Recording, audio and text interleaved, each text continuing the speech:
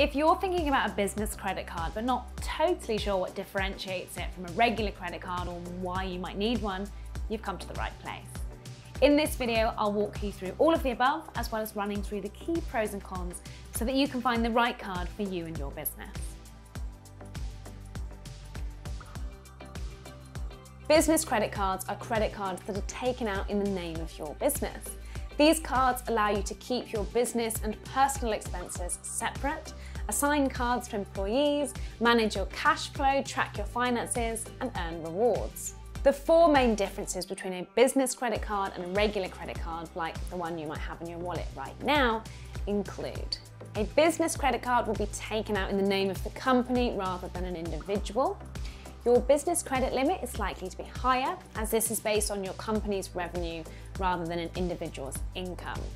You'll be entitled to a higher number of additional cards as multiple employees may need access to a card. And most business credit card accounts come with an annual fee.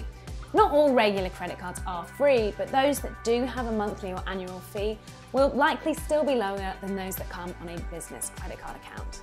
There are other points of difference too that come with business credit cards like eligibility criteria, customizable spending limits for different users, and expense tracking tools. A business credit card is not compulsory. However, if you don't like the sound of having your whole company's expenses going through a card in your personal name, a business credit card can be a good solution. As well as keeping your funds separate, many cards also come with apps and tools to help you efficiently manage and organise your business expenses. They can be a great way to get a little cash injection when you need it. And you could even earn rewards like cashback or air miles. So potentially your next company dinner or business trip to New York could pay for itself.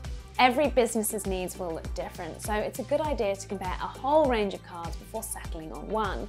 But with so many cards on the market, whether you have 30 or 300 people in your company, you'll be able to find the right card for you.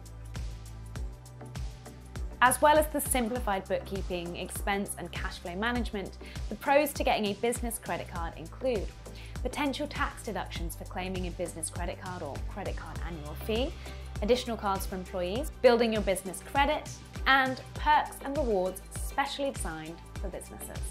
Downsides include the fact that you need a good credit record and business turnover to be eligible, potential expensive account fees, interest charges if you have an outstanding balance month to month, and finally, and this is a big one to consider, business credit cards are not protected by Section 75 of the Consumer Credit Act, which is an extra level of protection on goods or services worth between £100 and £30,000.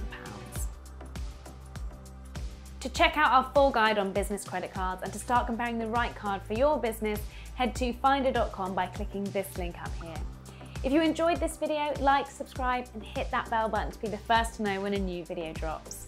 Thanks for watching.